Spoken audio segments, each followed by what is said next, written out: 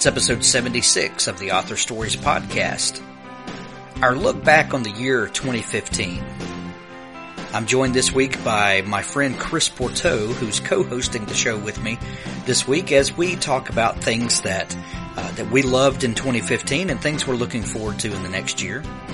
Thank you for uh, downloading the show or, or tuning into the uh, to the website, uh, finding us on iTunes or Stitcher Radio, however you found the show also YouTube.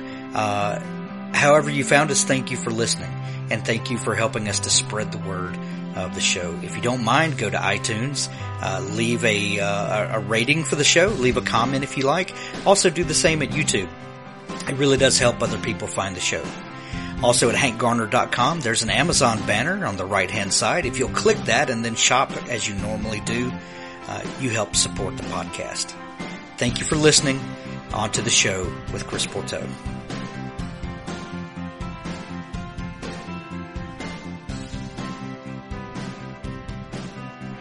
Well, thanks for joining me again for the Author Stories podcast, where I bring you the story behind the stories and the storytellers. Uh, this is the uh, the last show of the calendar year 2015, and as we did last year, I invited Chris Pourteau, uh, a very dear friend of mine, to come on the show and to kind of recap the year with me and to talk about what has happened and some things that we've enjoyed and uh, just kind of look back and, and then see maybe what's coming up for next year. Uh, welcome to the show, Chris. Welcome back to the show. Thanks. Thanks, Hank. Thanks for having me. Yeah. So, uh, 2015's been kind of a crazy year. Uh, I remember us sitting here last year and kind of recapping what kind of what we had been through and what we'd read and and things like that. And I, I remember at the end of the year kind of setting some goals for myself, and uh, I, I, I had a goal that I was going to write two novels, and I was going to uh, and I was going to write three short stories. Mm-hmm. And I published two novels, and I published two short stories. Gosh, and have, and have and have two more in the can that have not come out yet, but they're written. Um, so, so I met my goals for last year, uh, but in in this year has shaped up to be nothing like I imagined it to be, um, which is which is kind of crazy. Um, so, so how is it different from what you imagined? Oh, I don't. I guess just the path to get there. Hmm. Um, like the, a lot of stuff happened this year that I just you know, you, you can't foresee. And then when you look back, you say, well, I, I, I did what I said I was going to do.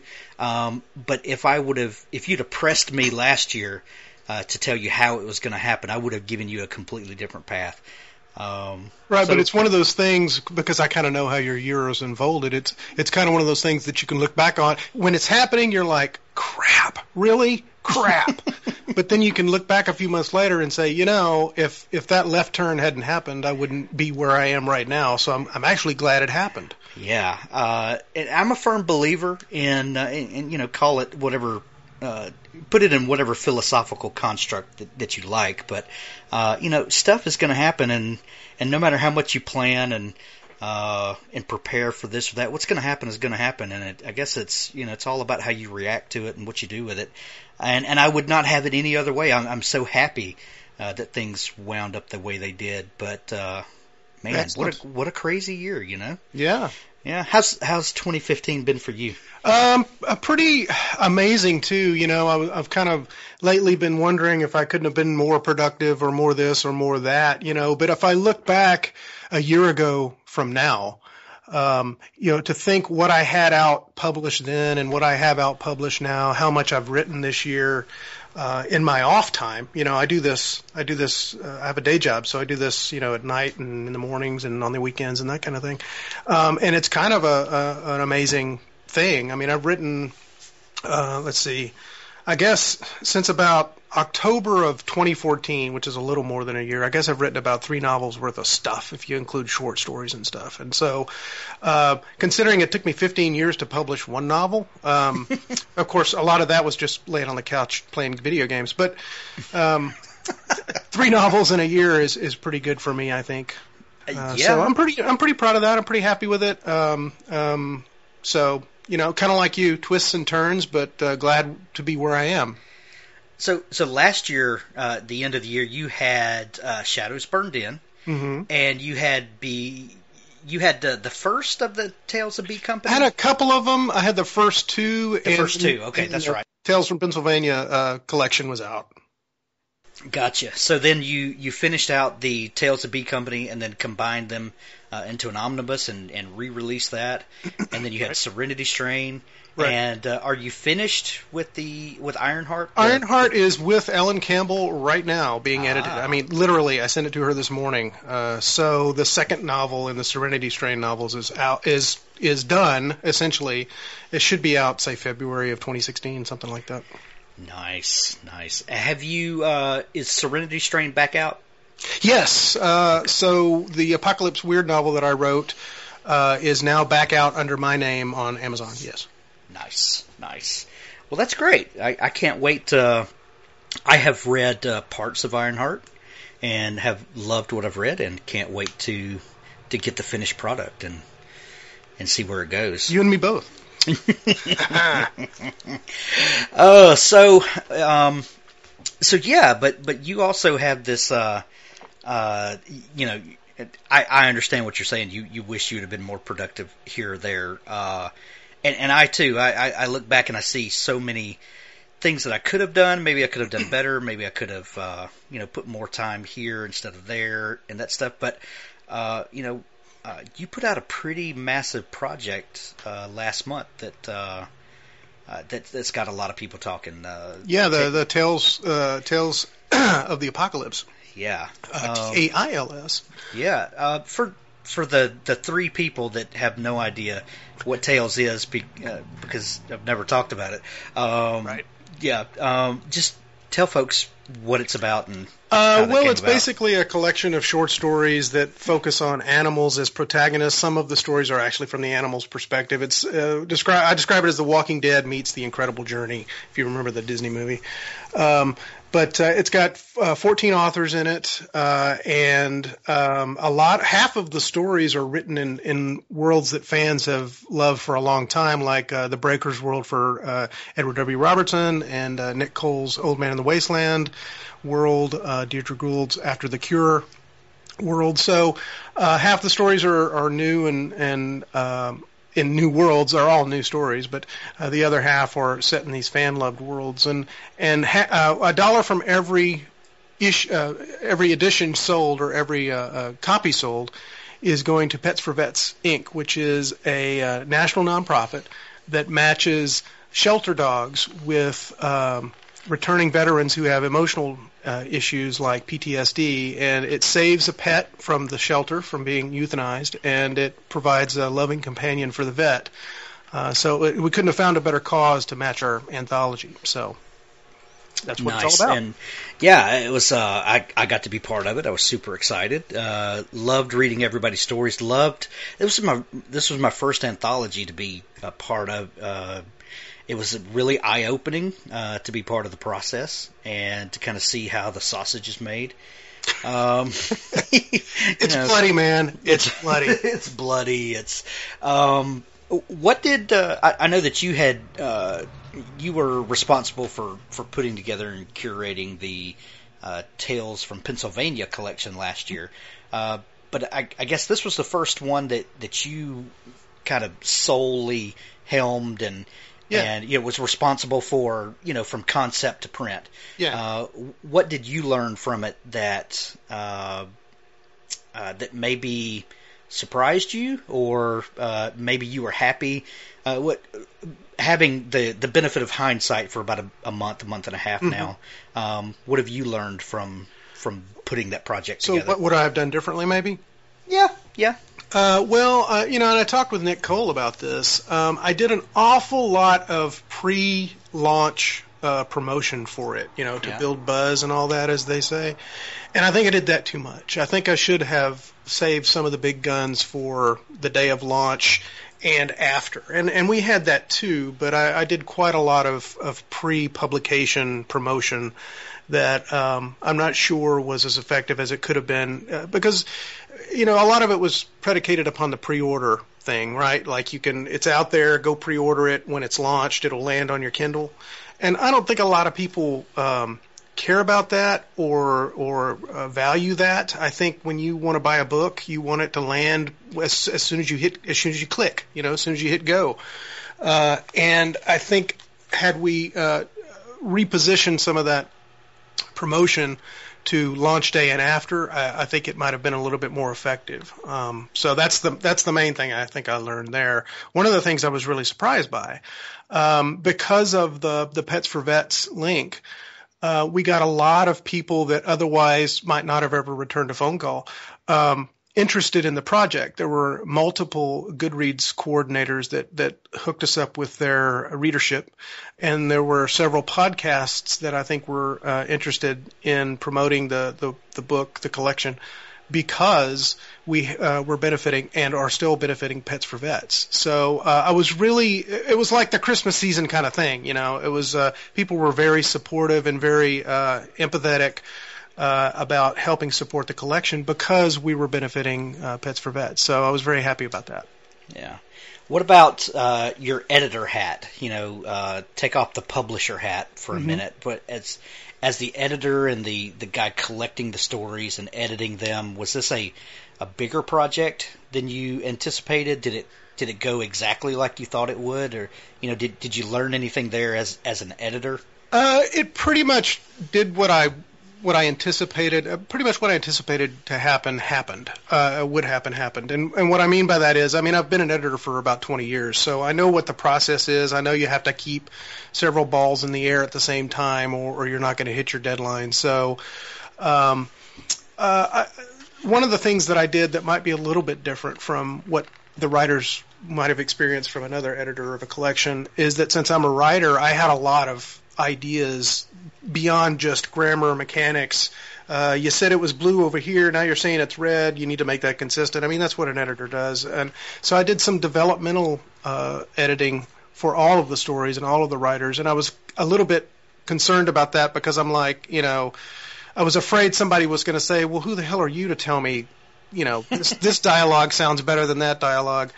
Uh, so, uh, but but to a, to a person, uh, everyone was very appreciative of my suggestions. Not all of them were taken, which is, of course, you know, their prerogative because I'm just making suggestions, as opposed to this is this grammar is wrong or these mechanics are wrong. You need to put a comma here, that kind of thing. Um, and so I was very, very gratified that I didn't uh, tick anybody off, really. uh, and so, uh, so because uh, you know, I just throw it out there, and if you like the idea, great. And if you don't, that's cool too. Yeah.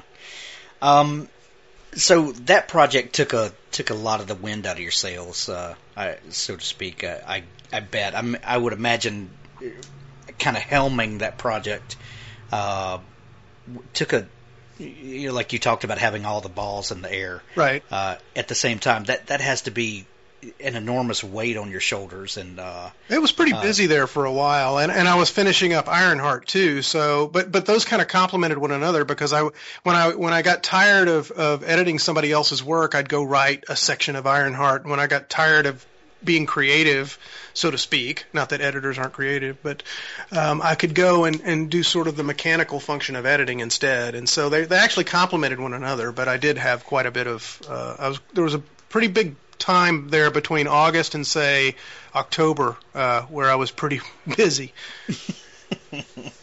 uh, yeah, I can vouch for that. I I, uh, I remember trying to ask you a question and getting screamed at and saying, "Don't bother me, yeah, kid." man, and... I'm, said I'm sorry, man. I don't know what else to say. Oh, it was a it was a fun uh, fun project to be involved in, and uh, thank you for inviting me. It was, uh, it was oh, glad fun. to have you, man. Your story was was innovative and interesting and different than most of the other stories in the collection, which was what I was hoping for from everyone, and everyone gave me an, an iteration of that. So yours was certainly one of those. Yeah, it was. Uh, uh, you know, sometimes when you you kind of look around and and and you see all these great people that you get to work with, and you're like, oh crap, I, I hope they don't realize that um, that I'm not as good as them, you know. and right. and I, I think a lot, I think most writers have that fa- same kind of feeling, you know. They're like, oh wow, I, you know. Um, so it's it's it's good times, fun stuff. Um, what's uh, what's the best book that you've read in 2015? Wow, that is tough. I do have a list here. I did prepare. Yeah. Um, Gosh, it just depends on what you're looking for, and uh, I'm, I'm going to start is, off. Go ahead. This is completely subjective. Okay. Uh, there's there's no right or wrong, and I mean, no matter what you say, I'm going to tell you that you're wrong. So right. Just, well, I'm used to that, so right. it's okay. uh, we're a married couple, right? Yeah, that's right. So, what did you enjoy reading? Uh, like, um, I, like I have a long list of, of books that I've read, 2015, and and I've read at least one book by every guest that I've had on the show. Right. Uh, over 50 guests. So I got to compiling my list. I've well, read. What am I doing here? Why don't you just talk to your I, audience? I'm just I'm saying I, have I've read a metric crap ton of books. Uh, but you know, but at the end, um, you know, there, there's thing, and and I enjoyed them all in one way or another. Mm-hmm. Uh, but there are certain things that I read that I just you know, I just did for me, you know. And I guess that's what I'm asking. What what did you read for you that you really enjoyed this year? Okay, well, probably the number one, and this isn't gonna uh, surprise anyone who's also read it, uh, which is pretty much everyone in the world. But anyway, Ready Player One by Ernie Cline. Oh yeah, was the one I enjoyed the most. Um, because I am uh, of his generation, so to speak. Yeah. Uh, I grew up playing, you know, going to the mall and playing video games in the arcade in the 80s. Um, and uh, all of those cultural t- touchstones that you read in the book, uh, even the the, the uh, he had me at the beginning where he had footnotes related to D and D, you know, supposedly footnotes yeah. related to D and D, right? Uh, so uh, that book really just uh, was a joy to read. Uh, my wife enjoyed it too.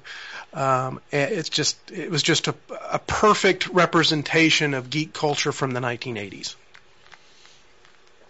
I completely agree with you.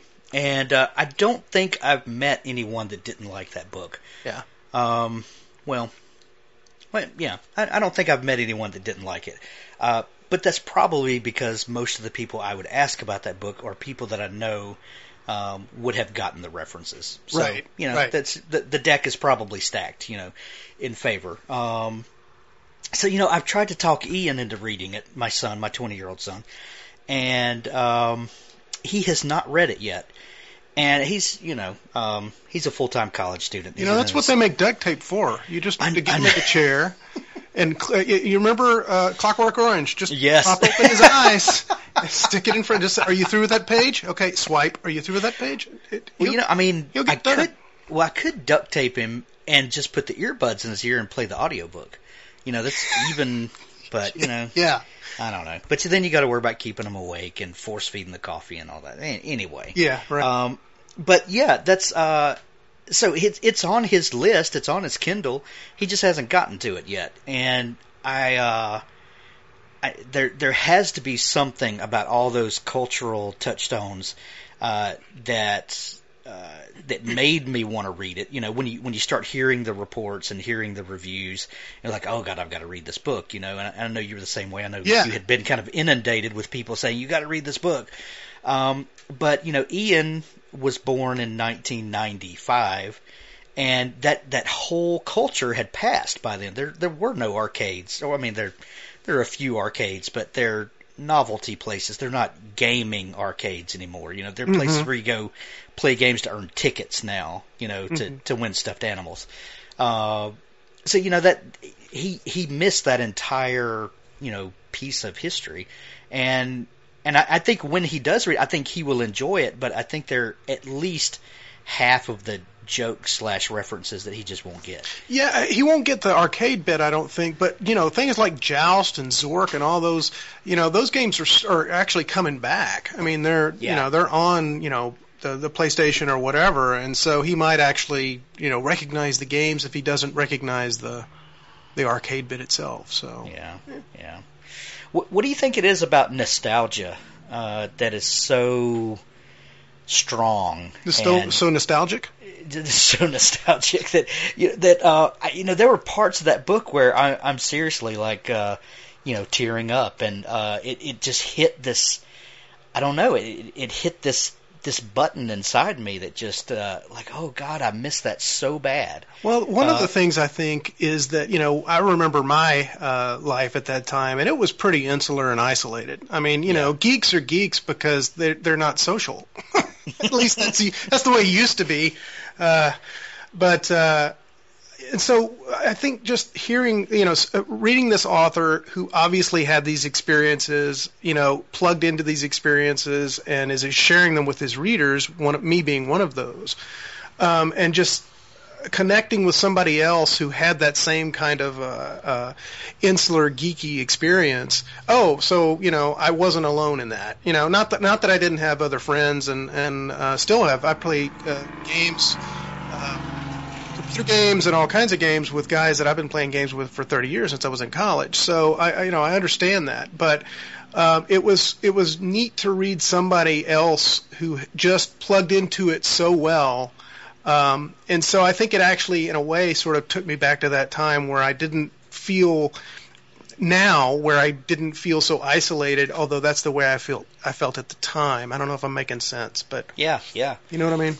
I do. I do. It's um, it- it's this thing about you know literature and uh, you know even movies and, and, and songs that, that just have a way of of stirring up and and I'm sure that our the, the memories that it stirs up are the memories are actually better than the, the actual experience was. Absolutely. Uh, Yeah. you, you know, I, I I don't know about you, but you know, I've uh, you know had uh, this nostalgic feeling stirred up, and then you go try to recreate the thing, and the thing is just not nearly as good as your memory of the thing is.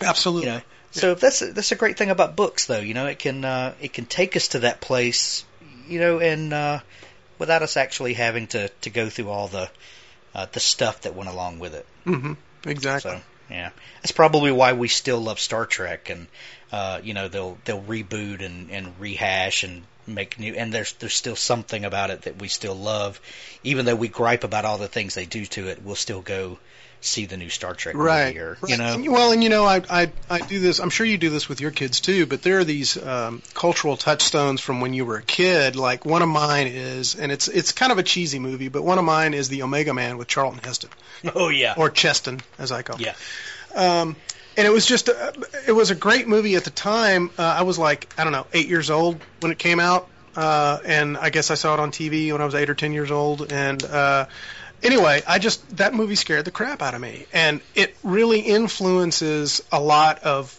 uh, my approach to writing, just, just in the, the way I, uh, create my hero and, you know, usually somebody that's on their own. Um, so, um, the, the guys in the, um, uh, black robes with the silver eyes and all that. Uh, Oh, and yeah. so I'm showing movies like that to, to my son Byron um, now um, because I think they're they're great movies even if they're a little bit cheesy or a little bit dated. Um, and he usually, you know, he's first of all he's a good sport about watching them. Um, but second of all, he usually uh, I just showed him the Time Machine, you know, um, from the 50s uh, a couple of weeks ago, and he really enjoyed that. Um, and that Now- takes his enjoyment of it and seeing it for the first time and experiencing it. That kind of takes me back to when I did, um, and that's part of that nostalgia you were talking about. Is he a good sport, or do you just not give him a choice? No, well, Because there's there's a lot of not giving choices at my house. That- no, he's usually pretty uh, pretty good sport about. Hey, Byron, let's watch this movie. I think you'll like it. Okay, you know, he's he's he's not he's like, well, I'd be rather I'd rather be playing video games, but all right, Dad, you know, none of that. That's great. Uh, did you have you gotten around to reading the? Uh, I, I I don't want to say follow up because it's not a it's not a sequel to Ready Player One, but uh, Armada, his uh, Ernie Cline's second book. No, I have not read that. It's uh, I did read it this year, and um, I I really enjoyed it. Uh, it is completely different from Ready Player One, and you know it uh, it it kind of got a lot of fanboy. I don't want to say hate because that's that's not the right word. Um, you know, there, a lot of people kind of got their feathers ruffled that it was not Ready Player Two. Mm-hmm. Um, you know, and, and I thought that was really unfair. Uh, and Wesley Chu and I talked about this on the on episode 74 uh, the other day of Author Stories. Um, but you know, there's uh, when your when your debut book is is is huge as Ready Player One was, that that's a hard act to follow Right. and and readers uh, sometimes are not very forgiving or not very um, open-minded enough to want to follow you when you decide to go do something totally different. You know, um, so but I I really enjoyed Armada, and that's uh, probably in my top ten uh, for 2015 Cool. of just you know uh, big summer blockbuster popcorn book. You Mhm. know, um, you know it's it, not that it had you know any great cultural implications or you know uh, it was just a, it was just a really fun book, you know, and um, and and in a way it kind of dipped into that same nostalgia uh, that Ready Player One did, but in a completely different way. And we're I, I won't just dissect the book because you haven't read it yet, but uh, I'm sure when you do read it, you'll enjoy it. Uh, but it'll be for completely different reasons that you enjoyed Ready Player. Well, and that's you know that's you can first of all you can't recreate lightning in a bottle. I mean, No. uh, was- uh, Ready Player One was a great book, um, but you you probably can't write Ready Player Two. I mean, because it wasn't. Uh, I'm not that he didn't have a plan for writing the book. I don't know. I haven't talked to the man, but uh, I'm sure it was a um, a, a well crafted. From the writer's side, it was obviously well crafted from the reader's side. I'm sure it was a well crafted book, but I'm sure he also didn't think, "Wow, I'm just going to blow the lid off the world with this book," you know, Right. when he was writing it. So you can't you can't create success. I mean, you can get lucky and you can have a g- great product that gets gets good press and good uh, good eyes on it and good reviews and all that, but you really can't uh, uh, pre-fate uh, success. And so, uh, you know, for him to go and write a second book, first of all, to have the courage to write a second book, uh, and Yeah. secondly, to go in a different direction, uh, not wanting to, not not not trying to recreate the lighting in the bottle. I think that that speaks very well for him and and for the book. So Yeah. Well, and he used all of the references in Ready Player One.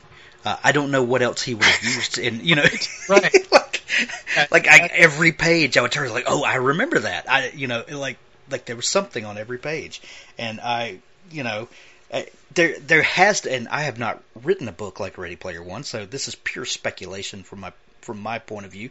Um, but uh, there, there, that has to be a uh, a balancing act of uh, you know, do I cram every reference that I can remember and think of, uh, and and not look like you're uh, just stuffing it with things that people are going to geek out about. Mhm. Does that make sense? You know, um, like I, I have no idea what that would be like to write that book. That's uh, and and and maybe he didn't think that at all. Maybe he just wrote it for the love of of the story and all the things that it brought up in him. You know, I don't know. yeah, Uh, we can we can armchair quarterback it, you know, all day long, but you know, neither one of us wrote the book, so right.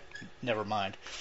Um, yeah, what what else is on your uh, your list? Well, the the top of my list, uh, because I just finished reading it, um, is a, a a novel called Still Alice by Lisa Genova. I believe that's how you say her last name. Um, and the reason I read the novel, uh, I'm I'm going to be writing something this next year, and I needed to do some some homework on uh, Alzheimer's disease because that's going to figure into the book. Um, and when I was a uh, an English graduate student in the early '90s, not not that I was in England, but I was actually studying English. Um, As your second language, as, clearly, yeah, I'm from Texas, so yes, English is my second Latin language. is your first. Uh, so I was in a history uh, graduate seminar. We were reading a book called Albion's Seed, and it was all about early English um, uh, colonization of America. And there would be a section on culture, and there would be a section on the economy, and there would be a section on this and a section on that. You know, basically the history. Uh, the way that the, the history class would would s- slice up a description of a of a early colony in America, and then there would be a section that was fiction, and uh, it was basically a story that sort of summed up what was talked about in the different slices, the different history slices. Um, and the history majors in the class, the graduate students in history in the class, didn't like that section uh, because it didn't have the demographics and it didn't have the dates and it didn't have the, all the numbers that they were used to studying. And I loved that section, being an English major, um, because it did what the other slices couldn't do. It, it, it synthesized the experiences that were talked about in the different slices uh, into a story, and that's what drove those those chapters in Albion Seed home to me, and so that's why I picked this novel by Lisa Genova. It's a fictional, uh, uh, it's a novel, it's a fiction novel about a woman who gets Alzheimer's disease, early onset Alzheimer's, at about 50 years old. Um, and I wanted to read about the experience of that from the inside out, as opposed to reading a medical journal or, or uh, you know, I wanted to read the the story, kind of like your author stories podcast, the story behind the story, right? Yeah. Um, and the novel is an incredible novel. Uh, it's I'm I'm again like Ready Player One. I'm late to the table. I mean, this novel has been um, uh, it, it even at the back of the novel has uh, questions that you can talk with your book clubs about. I mean, that's how long it's been around and how widely widely accepted it is as a, as a great novel. Um, but uh, it, was so well crafted from the the uh, epigraph on uh, that I really enjoyed. As a writer, I enjoyed reading the writing.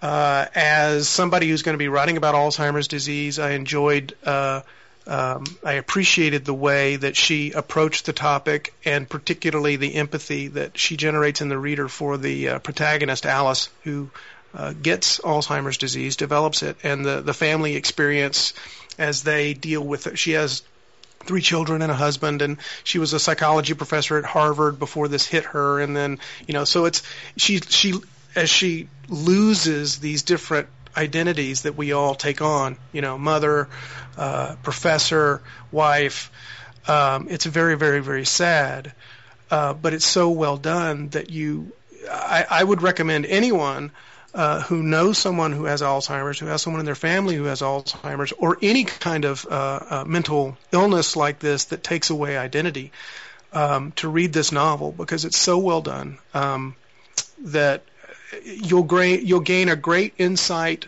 into the perspective of the person that's suffering from the illness. Um, so, and there's a movie uh, with Julianne Moore and uh, uh, some other, well, obviously some other folks in it. Um, no kidding, right? I just can't remember the cast. But uh, Julianne Moore plays Alice, uh, and it's uh, on my agenda for this weekend to watch again to sort of synthesize what I read in the book. Now I want to see how they did it in the movie and get a different perspective on it. So I recommend Still Alice by Lisa Genova. Still Alice. Uh, um, this book that you're uh, doing uh, research for. Uh, is that something you're planning on writing in 2016? Uh, yeah, I don't want to talk too much about it, but no, uh, I, I, but yes, uh, it's something. It's a it's sort of a, a futuristic kind of thing, uh, and yeah. it's the, the the idea of Alzheimer's is going to have a big role in it. So nice. Well, I don't want you to say anything about it. We, but I just wanted to folks to know that they should be looking for new work from you in 2016. God, I hope so. oh man, um, uh, I was looking back through my list, and I was trying to pick some things that are kind of quirky and uh, kind of off the wall that that I might have read. Uh, I, I read a ton of sci-fi and fantasy. Um, mm-hmm. probably because I'm a nerd. I don't know. Geek, you know, yeah, if right, you, right. geek, you know, is uh, is the preferred uh, usage. Yes, yes. Um, Nerds are very good at science and math. Geeks uh, love geek culture, D and D, fantasy, sci-fi. Usually, there's a, if you think of the Venn diagram, there's lots of crossover in the middle there. right. But there is a, a, subtle difference. Yeah, yeah. Of course there is. Um, and uh, so you know, I, my Kindle is full of sci-fi, fantasy uh, type stuff, but I also uh, I, I love to read biographies. Mm-hmm. Uh, biographies are probably my favorite thing to read, and I especially like kind of uh, I like to read about weird and quirky people. Uh, probably because I'm weird and quirky.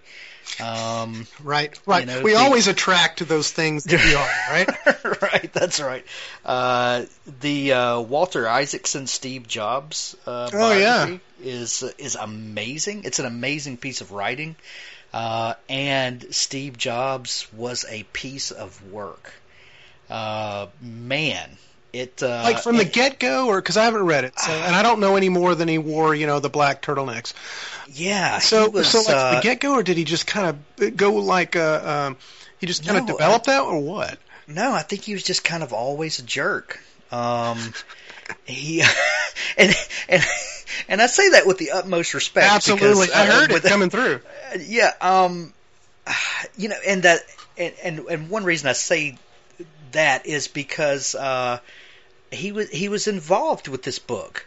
Uh, he, I, I don't know that he was exactly on board from the beginning, but I think uh, Isaacson kind of brought him on board, and you know, by the time it was over, uh, Jobs gave him access, or, or at least you know. Uh, implied permission, uh, you know, whether he needed it or not, but gave his blessing, let me put it that way, uh, to talk to people from his past, good and bad, uh, relationship status wise, you know, um, like encouraged him to reach out and get the, the negative side of the story as well as the positive, which, um, which is pretty crazy. Uh, I, I don't know that I would do that for a biographer.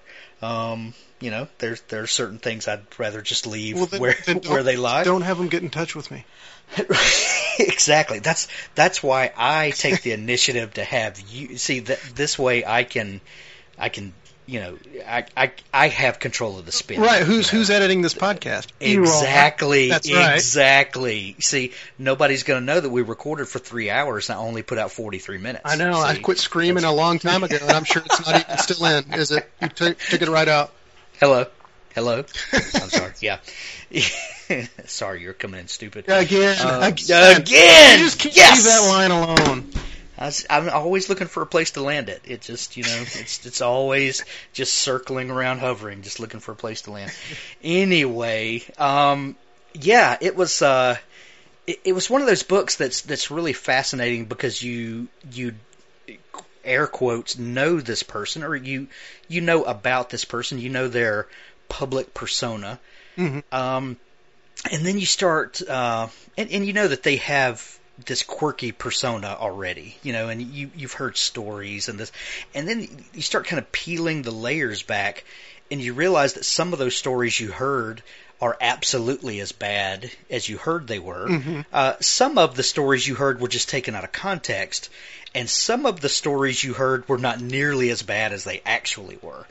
Um, and that's on one hand, that's a, a very enlightening, uh, you know, to to kind of see that uh, t- to put some humanity Mhm. on this on the story of a person. Uh, and it's also really uncomfortable to read in some points because it's almost like you shouldn't be there reading this. It's a little bit too Y- private for your eyes. yeah, like like you just feel like uh I don't know. I I uh I, guess I, I have a tendency to kind of um uh try to humanize the the story and and it just it just felt very violating to me in in some places, you Hmm. know. And and you know, and that's just that's me projecting. so sort of a, a car wreck on the side of the road, kind of. yeah, feeling? yeah, You know, yeah. you can't look away, like- but you're you feel bad about looking at it. Exactly. That's exactly what it is. It's like, oh man, I shouldn't be seeing this, but oh god, I can't stop watching it, you know? And, um, yeah, it's just crazy. So, um, uh, but it's a really, really, really good book. Uh, very eye opening, very enlightening. Uh, you start, uh, seeing some of the thinking behind the technology that we all carry around with us. Um, you know, it's, uh, it's, it's really fascinating. It's, uh, I would highly recommend it. Um, so yeah. Well, I had a I had a book like that myself, uh, and it was a biography, as a matter of fact. Uh, Yeah. It's called John, and it was by Cynthia Lennon.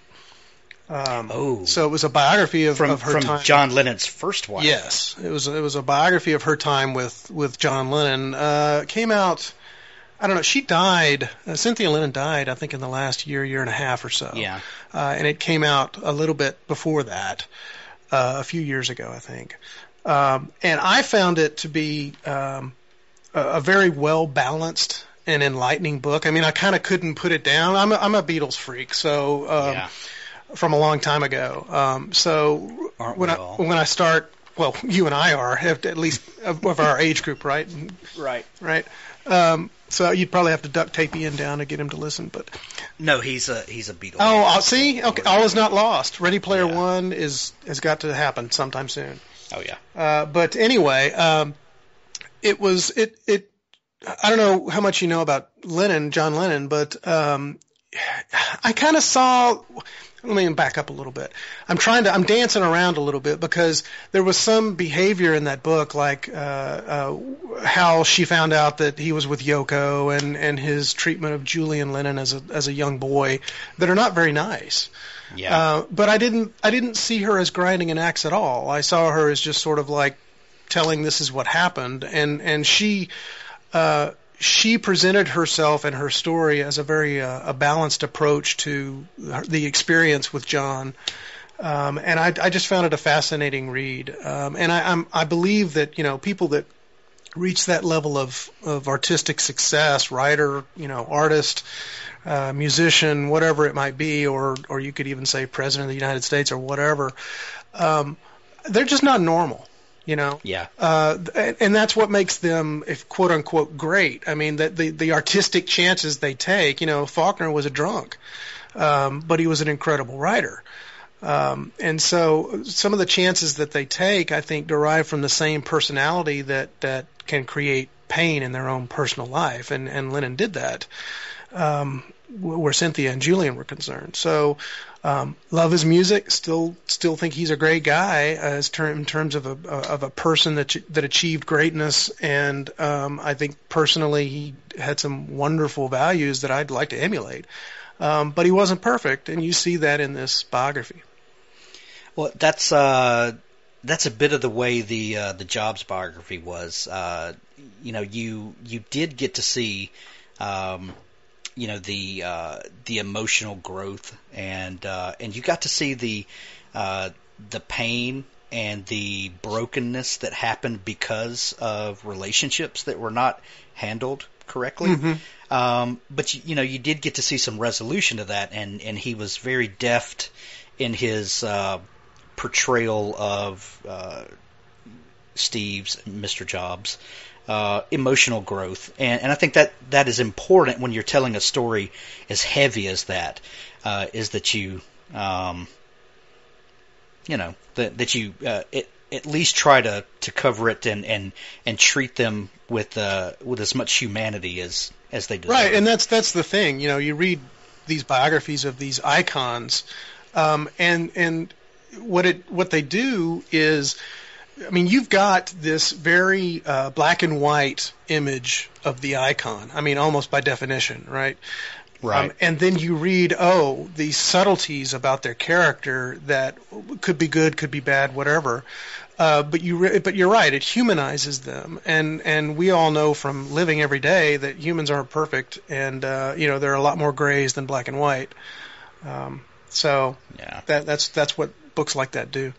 Yeah, and and you you hope that uh, when people look at your life, uh, that they look in all the windows and not just the kitchen window. Uh, yeah, you don't want to look at my know. kitchen window. Trust me. yeah, I've heard stories. Um, See a margarita yeah. machine though. Yeah. I don't have a margarita machine. Oh. I, I I get a little jealous sometimes when I see your your post. Oh of, man. Uh, Next time we get together, I'm telling you. Yeah, it's it's it's going to happen. Um, on while I'm on uh, biographies, and this is a, a kind of off the wall. It's probably not a biography. It's probably more of a memoir, um, it, or it may just be a goofy book. Uh, I don't know how you classify it, but um, uh, Kevin Smith's book called Tough S H uh, asterisk T. That that's the title. Tough shot. I, he was a he was a hockey player. He was a, he was a hockey. Tough well, shot. Was, huh. yeah, tough shot. That that's the that's the actual title of the book. I think the the missing vowel is there for you to supply as you see fit. Suddenly, we're playing Wheel of Fortune. uh, there's a subtitle to the book though, and I'm pulling it up right now. Um, My life in the hockey league. Well, it, it's uh, it's not that Kevin Smith. Kevin Smith, the uh, the film director. Um, life advice from a fat, lazy slob who did good. Um, now I got to retitle my book for next. I know, right? I know. ah, curses foiled again. Um, this book, if you, you know, if you were someone of our generation, and and I think uh, Kevin probably appeals to. I think his core audience is probably a people of a few years younger than us. Not many. Not many. Yeah, Not many. Um, you know, he is our age, or he's he's one year older than me. I think a couple of years younger than you. Um, so you know, in that range. But you know, he he kind of uh, he made this movie Clerks in the early '90s, Right. uh, and kind of was one of the defining voices of the slacker, you know, uh, generation. Um, but you know, he he has gone on to build this entire media empire around podcasting and uh, writing and making these quirky, weird movies, and you know, just all all this kind of stuff that he he is uh, ha- has you know become a very wealthy man uh, doing stuff that's that's not exactly in the mainstream. You know, he he definitely has a uh, a big audience and a, a rabid au- audience that that buys and supports all that he does, but he's not necessarily a mainstream figure. Um, so he he's kind of taken this love of geeky stuff and and kind of you know quirky. Uh, kind of this slacker lifestyle, and and turned it into a, you know, a niche. Um, for lack of a better word. And and this book is all about how he kind of did that and kind of parlayed his you know love of Star Wars and comic books and uh, you know and uh, you know off color jokes into you know a, a pretty good life. So it's like how to be a couch potato and get paid for it. That should have been kinda, kinda. But you know, it's a, it's a, uh, it's an oddly very motivational book. Um, you know, because and, and he's it's very self-deprecating. So you know, if you uh, you know if you're into that kind of humor, uh, you know, to begin with, it's it's very entertaining. Um, but by the end of the book, you're like, oh my god, if this guy could do it, anybody can. you know. I'm sure Kevin Smith listening to this Yes. really appreciates the sentiment. Yeah, yeah. Kevin, please return my email. Um, Yeah, I'm just gonna have now. right. So, uh, you know, it's it's one of those things that's and, and it's very tongue in cheek. Um, you know, and he's making fun of himself, and he's very aware that he's making fun of himself. It's it's not one of these. You know, it's not like who was that guy that was on one of the early uh, years of American Idol? Uh, Oh, dude, Uh, you got and- me. I. Anyway, he was he he did this horrible audition, uh, but he thought he was really good, and uh, and he wound up uh, recording a couple of albums. William Hung was that his name? I don't, I don't know. I sure anyway, hope so, man. Because I, I don't, just best porn name I've heard in a long time. But the you know, and and I don't know how aware this guy was of what was going on, but the the impression was uh, that that the joke was on him and that everybody knew the joke but him. Uh, But the the funny thing was he went on to sell like a couple million records, and so at the end of the day, you know, the joke was on everybody else. But anyway, what what I'm getting to is this is not that book. It's uh it's very self-deprecating, very self-effacing, um, but very intentionally so. Um, you know, and um, and it was just a, it was a fascinating read to me. It was uh, uh, there's a lot of geek culture stuff in there. There's a lot of things that uh, resonate with. Uh, uh, you know, with with people of our generation, uh, and also a kind of a spin on uh, kind of this indie uh, ethic that you know uh, you don't need uh, you know in his case the big movie studios. Uh, you don't need the big publishers. You don't need this whole thing that we grew up thinking that we needed uh, to to be successful and to get your art out there it's it's really in your hands and if you don't make it it's nobody's fault but your Well, own. Well, that's you know when I when I became an indie publisher, when I published my first novel, that that's pretty much what I told myself. I was like, you know, for 20 years I've tried to get an agent. Well, I had agents, but they didn't really do anything for me. I tried to get a publisher, nobody's interested. But now with with Amazon and being able to self-publish and all that, if I don't put something out there and see what happens to it, it's nobody's fault but mine. Right. That's all right. That's right. And that that's definitely the uh, the vibe that you get from the book. It's you know it, it's very funny, it's very humorous. There's lots of uh, inside stories of you know things that happened along his career and people he ran into, and uh, you know he throws names out there and it's very uh, funny stories. Uh, but at the end of the day, it's a very motivate, motivating story Uh-huh. uh, of of kind of taking this this indie work ethic and and making something uh, that for um, for you know as as long as there's been publishing, you know there there's been this wall and you know and there there are these these keep these gatekeepers and and they you know tell you whether you can or cannot and and those days are over. And you definitely get that kind of uh, that hyped up feeling at the end, like, man, I can do this. You know, if, if, if good lord, if this guy can do it, I, I can. Man, there's so it, much you know? crossover with him. You should definitely have him on the show. I know. I, Kevin Smith, return my email. Okay. Anyway, um, so yeah, that's uh, that, I would add that to uh, you know, it's it's my my quirky off the wall pick, but uh, I would definitely recommend that book. I I uh, I think um, that everybody would get something out of it. Cool. Yeah. Very cool. So uh, anyway, do you do you have another one? Yeah, um, one that I think I think you've read, uh, "The End of the World as We Knew It" by Nick Cole. Yeah. Teotihuacan. Teotihuacan. That's right. I just love saying It's, it sounds like something you should be ordering in a restaurant. I, I'll have the. Teotihuacan, please, and with some Yeah. egg drop soup, with please. I, and uh, with the uh, orange sauce. Yes, uh, it's always better with the orange sauce. Teotihuacan orange is what I call That's it. right. It's great. That's right. Yeah, yeah. But uh, anyway, um, so the reason I wanted to talk about this novel um, is it's basically a novel of the zombie apocalypse, if you want to put it into a genre. But it was so um, innovative in its approach. Um, first of all, Nick Cole is the best indie writer on the planet, as far as I'm concerned. Uh, he just he was one of three writers that showed me, oh, you can self-publish and not suck. Oh, great! Wow, I didn't realize that. Okay, sure, I'll try this.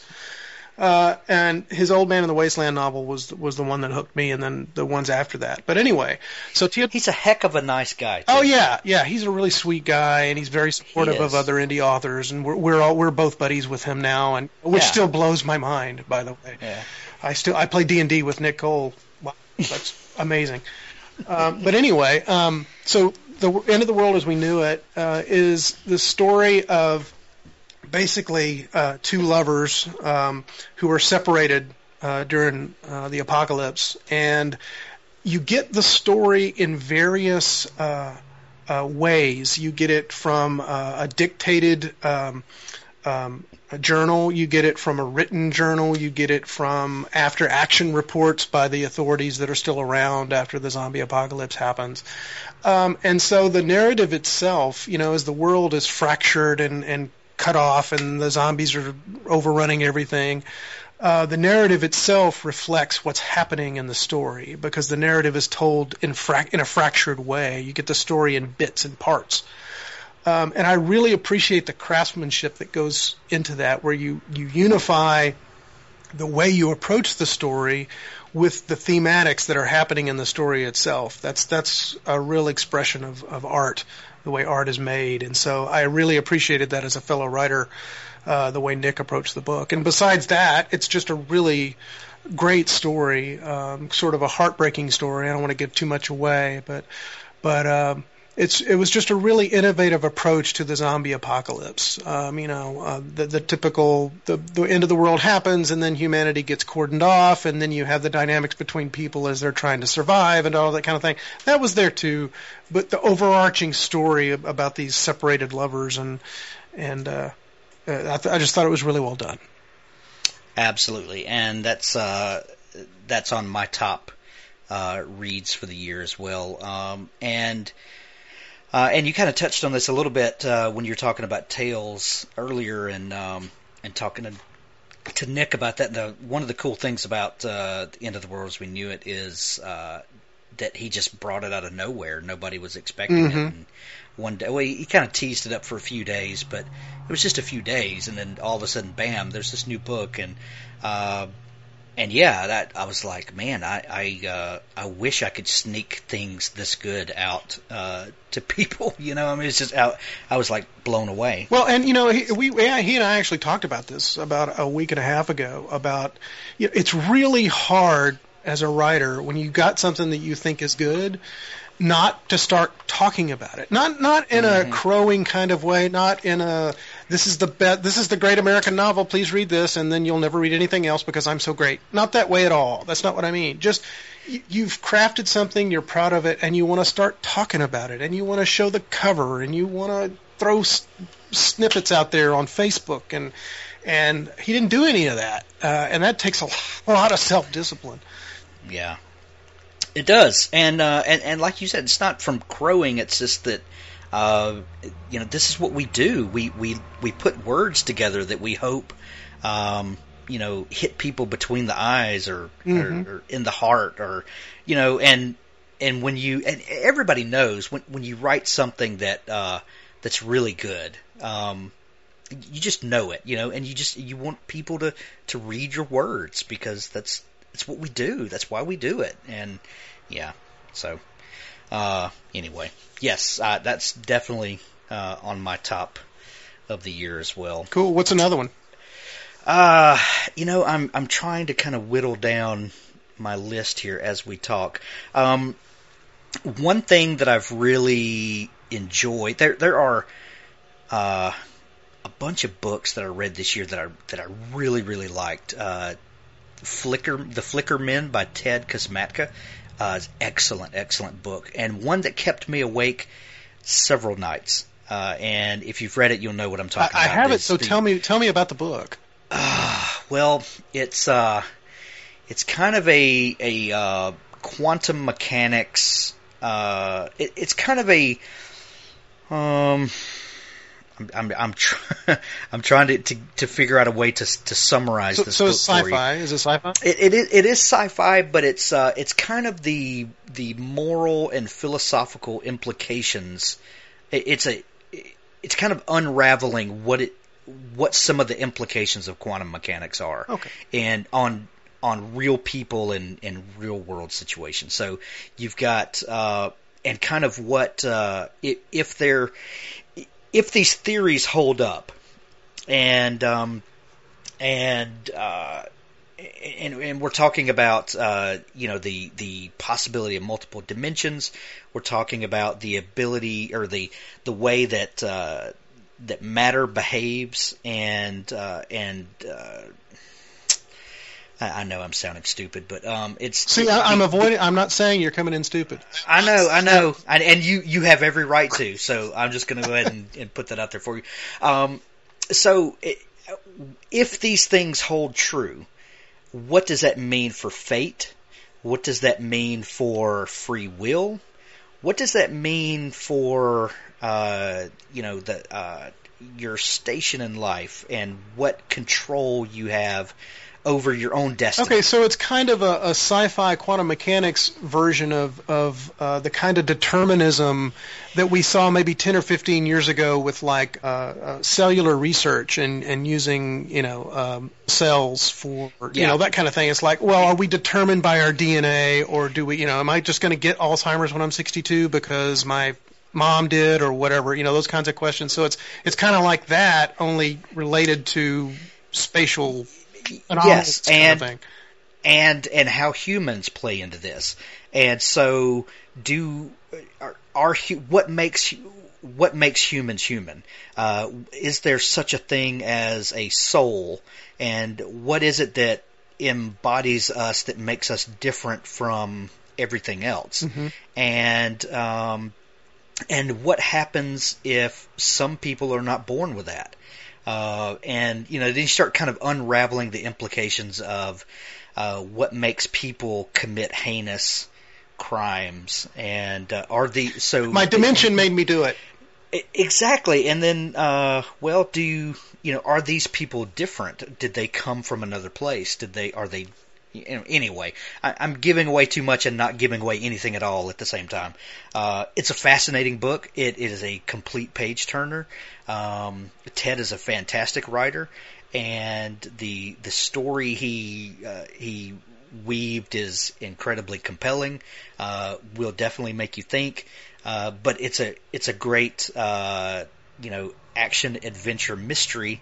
Uh, all the while he's dropping these nuggets that just completely screw with your brain. Oh, very cool. Uh, so yeah, it's a great book. I highly recommend it. Very cool. Um, so yeah, the uh, the Flicker Men by Ted Kosmatka is. Uh, uh, and and Ted has about three other novels I think that I have on my Kindle, and I just haven't gotten to them yet. But uh, yeah, he's he's a I uh, so happy to have connected with him this year uh, because he's a fantastic writer, and uh, you should definitely look for stuff by Cool. him. Cool. Cool, will do. Yeah. So so that's one of my uh, my top books of the year. Uh, I got one more that I'll talk about. Okay. Um, and that's Weapons of Mass Deception by David Bruns. David's a, a friend of Mhm. ours. Uh, Oh, he's a yeah. Navy veteran. He was in. He's got a story in Tales as well. Um, and the the premise of the book is, if you know uh, anything about the Gulf War, um, well, if you know something about the Gulf War specifically, that is that uh, Iraq sent their air force over to Iran for safekeeping, and Iran said, "Thank you." right. Well, he takes that premise and applies it to uh, weapons of mass destruction, and basically his his fictional premise is that Saddam sent all his weapons of mass destruction to Iran for quote unquote safekeeping, and that's why we didn't find them. And Iran said, "Thank you."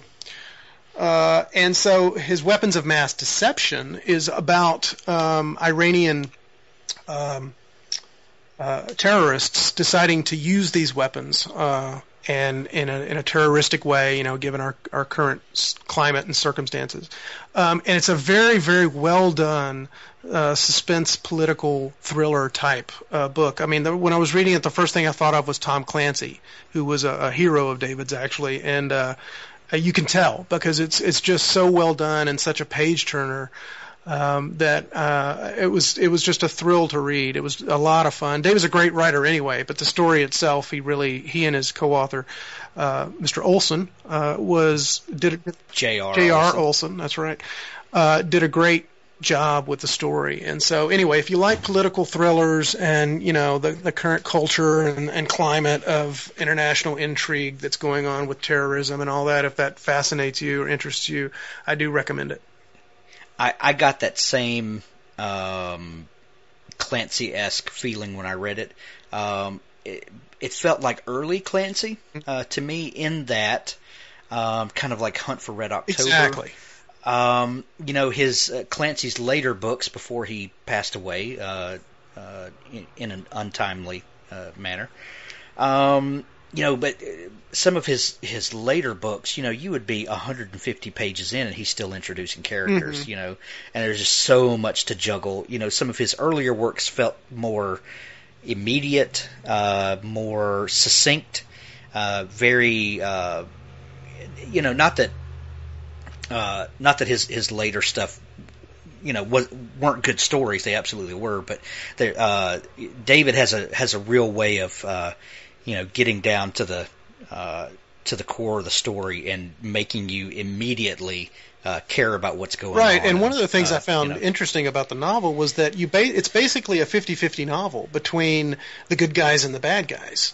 yeah, Uh, you know, he does a great job of getting inside, you know, the head of the, the terrorists, and you're you're I would I don't want to say you're empathizing with the terrorists at all. I don't mean that, but but you, but you understand. yeah, they're human characters. They're not Right. t- two-dimensional archetypes looking to blow stuff up.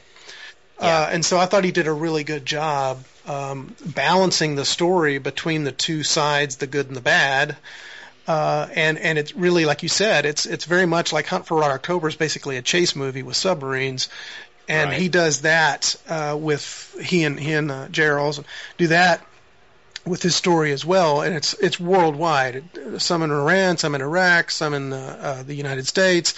Uh, and because he is a Navy veteran, and, and Mr. Olson, uh, I believe, was a liaison to the CIA or something like that, they bring uh, some some real world experiences into the writing process. And so they didn't they didn't have to. I, I'm guessing I haven't talked to him about this, but I'm guessing they didn't have to do a lot of research Yeah. because they lived it. And so then they take that and turn it into great fiction, and it's just it's just a great read. Yeah, I, I completely agree with you, and uh, and I have a hardcover uh, of that book on my shelf right behind I me. do. And, I do uh, too. I got that special for supporting the. the Yeah, it's uh, right. Yeah, yeah, that's right. And uh, man, what a gorgeous hardcover! it is. Uh, on top of being a, a fantastically written book, man, just the every every detail of the entire project is is just uh, top notch and quality and uh, just really fantastic. I mean, it's really proud to have it on my shelf. Yeah, me too.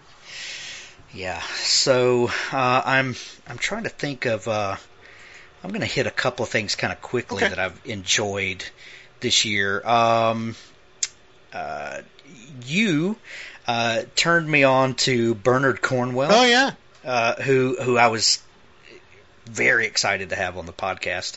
and he was Uh, and- to listen to. That was a great. Oh, podcast, by man. the way. Yeah, he's he's such a such an awesome guy.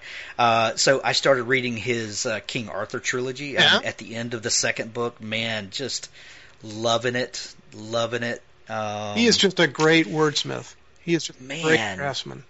He is, and and I loved listening to him talk. I I love hearing people talk craft mm-hmm. anyway because you know everybody has their own you know nuances and their own little quirky you know things that they do, and I, I'm I'm fascinated by that. I'm I'm fascinated by where stories come from. You know that, that's one reason I do this podcast is I just I just love to hear people talk about it. I, I there's this kind of you know mythical quality to storytelling that it you know it never gets old to me. I just love hearing where you know these crazy things come out of people's heads, uh, and I his was no uh, no exception. Uh, and I loved hearing him talk about uh, you know kind of his process and uh, you know and he has some very uh, uh, strong opinions about. Uh, outlining versus you know pantsing Right, and that I was very surprised to hear you know that that uh, I was very surprised to hear that he's not that much of a plotter Yeah, too. because Um, because it's all of his stuff is so historical based. You know. I And- know, But and apparently and he the- just knows it all. I, and they're so tight. You Yeah. know, uh, you know, you can, um, you know, there, there's some of Stephen King's books. You know, you get 800 pages in, and you're like, this story's running out of gas. You know, and um, and and I'm not. Uh, that is not a dig at Stephen King. And not whatsoever, because uh, he's Stephen King and I'm not. Um, but you know, there, there's just some stories you can just tell that you know. Well, I don't know where the story's going, and apparently he didn't either. Um, Yeah. you know, but but Cornwell's is absolutely not that way. I mean, it's so intricate and um, Yeah, and I don't know if you've hit Yeah. one or not, and you probably have, given the Arthurian uh, series. But when he describes uh, attacking a shield wall, um, and you know how the so, how the short swords come up under the shields to try to break through the shield wall of the of the the enemy, and uh, he there nobody writes a battle scene like right. like Cornwell does. yeah, it's cinematic. Yeah, yeah, very uh, yeah, very elaborate, very very visual, very uh, visceral. Mhm. Yeah, is a is a good word. Um, so yeah, so uh, thank you for uh, introducing me to him, and uh, uh, that was only like uh, 52 or 53 more novels to go, and you'll be caught up. Yeah, I know, right? uh, another interview that I did uh, this year that uh, was uh, very eye opening was uh, Craig Johnson, the author of the Walt Longmire mystery series. Oh yeah, yeah. Man, what a great uh, interview that was. Uh, he, was, I, I still say that was one of my favorite interviews to do. Um, and and I'm I, I've started reading the the Longmire novels, and if you're a fan of the TV show, um, the novels are even better. They're just man, he's such a great writer, um, and I, I think I have the benefit of, of having watched a couple of seasons of the TV show uh, because I, I kind of have these characters in mind. Um, I know some people don't agree with that and, and don't like that, but um, I don't know. He's he's a very visual uh, storyteller, and and the books are funny. Uh, something you don't get a lot from the TV show. Uh, there's a lot of humor in there and a lot of uh, very rich characters. So uh, I'm loving his series, and um, uh, that's something new I picked up this year. Um, Yeah, yeah. So I highly recommend the Walt Longmire mystery series. Um, let's see. Uh, Jim Butcher was on the show this year, Mhm. and uh, Jim's new uh, steampunk series, The Aeronaut's Windlass, uh, is is really good. Uh, if you're into steampunk or that uh, it's steampunk kind of meets um, uh, Horatio Hornblower. Oh, very you know, cool. So if you kind of like. yeah, yeah. So you, it's kind of like swashbuckling, you know, steampunk, um, which was not something I expected from Jim Butcher. I'm a I'm a huge fan of the Dresden Files. Uh, love, love, love that series of books, but it's not something I expected, but is really, really awesome. Um, yeah. So uh, another thing we didn't touch on, uh, The Martian. Oh yeah. Uh, I, I think I actually read the. No, I read The Martian this year. Yeah, it was this year. Uh, and then uh, saw the movie, which uh, was exciting and fascinating, and um, yeah, probably one of the best movies I've seen this Mhm, year. Uh, a, a little different from the book uh, in in some places. In other places, uh, uh, spot on. I, I think the tone was spot on, uh, and uh, yeah, I was super excited about that. So uh, highly recommend The Martian. Well, and one thing I want to point out, um, I think uh, it's because we're talking sort of going into the visual media thing now, just briefly. Yeah. uh, is the idea of um, what Netflix is doing with uh, some of the Marvel comic characters and CBS Yeah. has done with Supergirl. I'm really gl- okay. It's it's the 12 year old comic book geek in me. I understand this.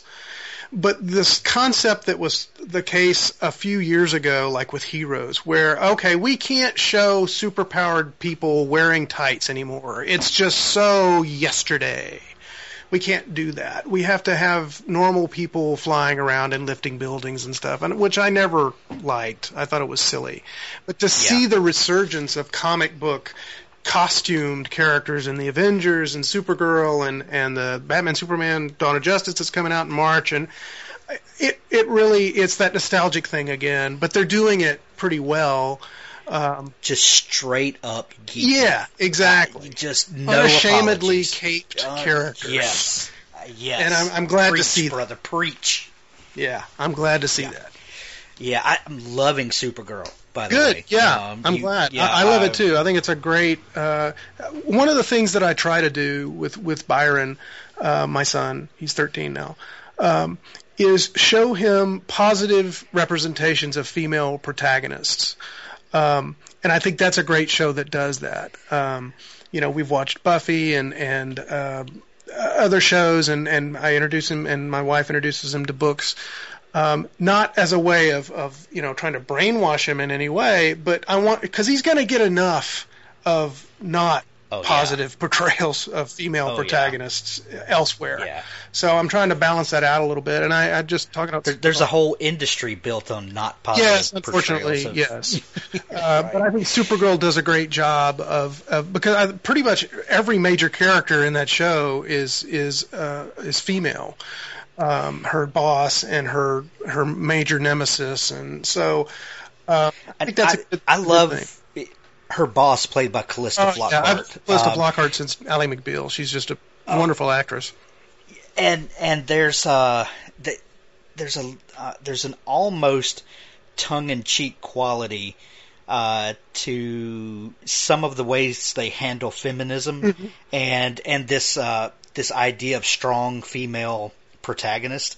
Uh, and it's like they they know the arguments that they're going to get uh, and they go ahead and and kind of poke fun at themselves sometimes uh, which one lightens up the whole situation and allows them to sh- to say, you know what, we can have um, we can have a strong female that's also uh, tender and uh, a little uh, altruistic, uh, and we can also have a strong female that is uh, you know more uh, overt and vocal. Uh, you know, and both of these things are valid, Right. And and that we don't diminish one for the other. Right. And I love, I love, you know, I have three daughters, and so I, I'm like you. I'm always looking for, um, uh, for those kind of examples, and and I'm always looking for things that I can enjoy with them.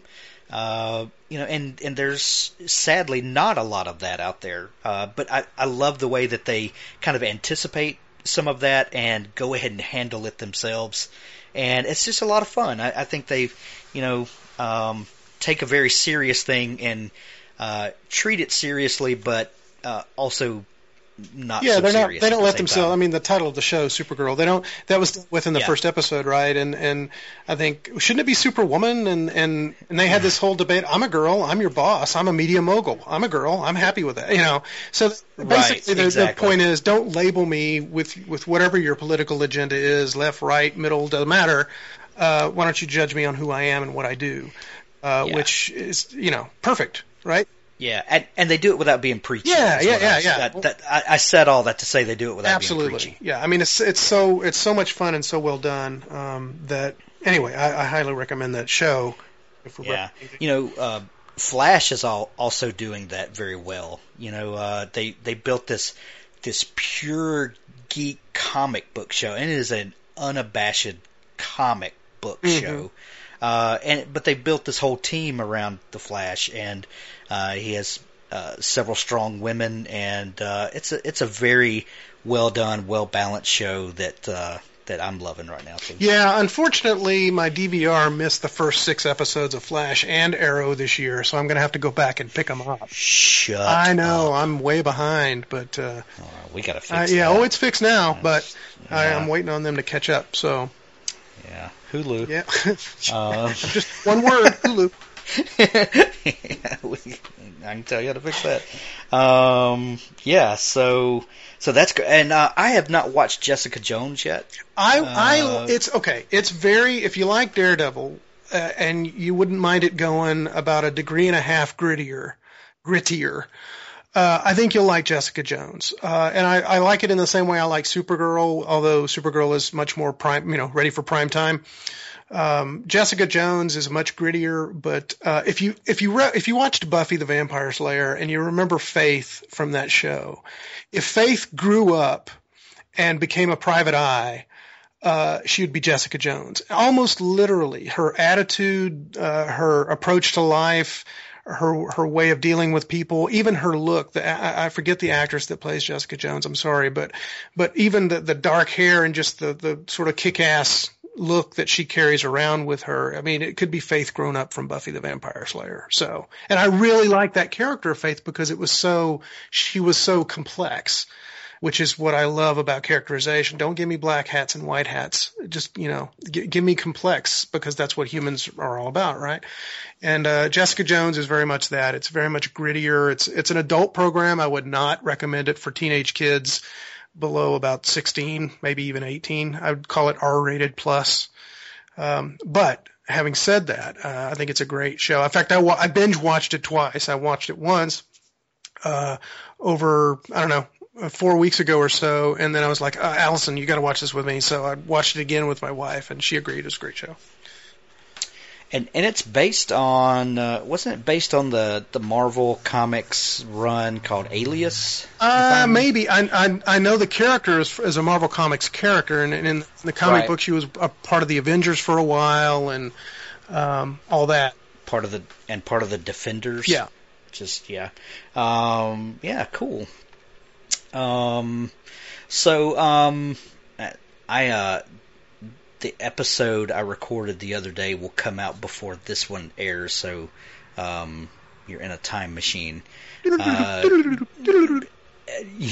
episode 75, which comes out uh, the one before this one when you're listening to it, uh, but comes out Monday if you're listening in real time, which only Chris and I are. So the Oh, is is is with Gene Yang, uh, who is the writer of Superman. Ooh, cool. And, comic? Uh, the comic, yes, the Superman comic. Right now, I had you know, and for a geek kid who, uh, you know, um, has loved Superman and the Justice League since you know I was six years old. Man, that was uh, it was a dream come true. I'll bet. Uh, Very yeah, cool. And uh, and it's episode seventy five, and this is Superman's seventy fifth birthday. Oh, look at that. I, and I did not plan that, but Wow. uh, it was kind of cool the way it worked. That's that multi-dimension folding in on itself there. that's right. That's right.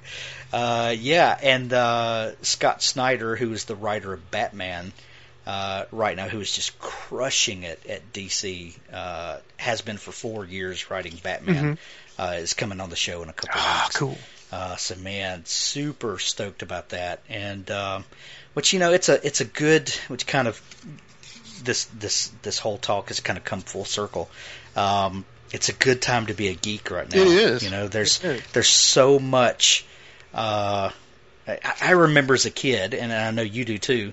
Um, you know, I loved comic books, and, and part of that came from you know growing up as as a kid with dyslexia and having a really hard time in school, and uh, that there was something about comic books, and there's a you know it's a, of course it's a mixture of the visual uh, art with uh, uh, with text that you know is easier for a dyslexic brain to process. Uh, I think the, the the colors and the pictures distract the brain and help it settle mm-hmm. down so that you can actually read.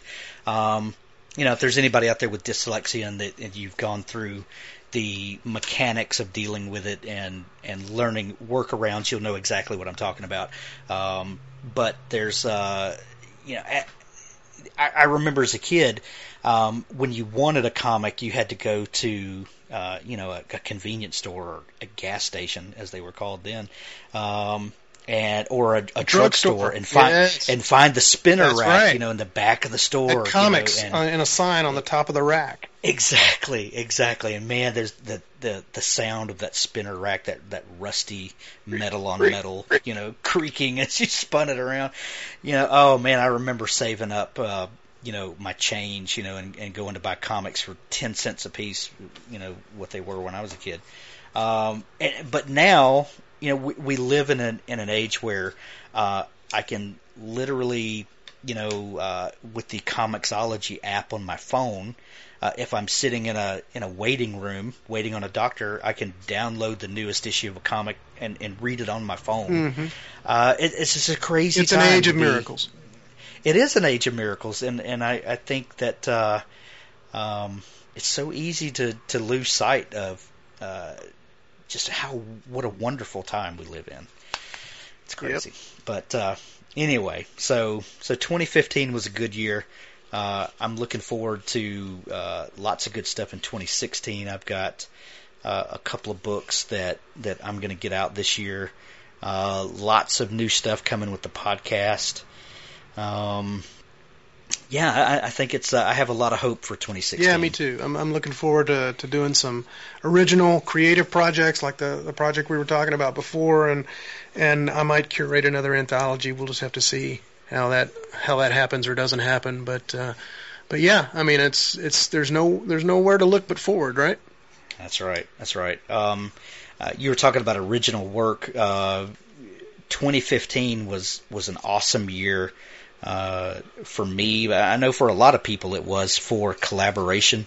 Uh, I think there were a lot of a lot of great anthologies came mm-hmm. out, a lot of joint projects. So there there was a seemed to be a lot of kind of team building that happened in 2015 that uh, uh, I'm really grateful for. Uh, I, I made a lot of great relationships in, in 2015.